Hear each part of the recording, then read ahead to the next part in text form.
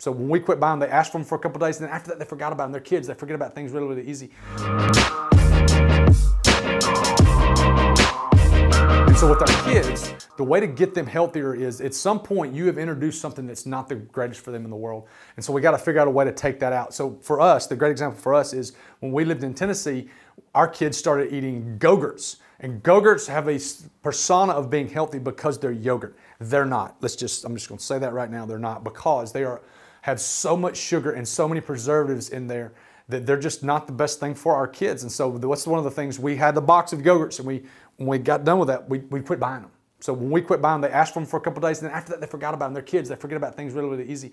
So we want to take the bad things out in order to put the good things in down the road. But taking out is more important than adding.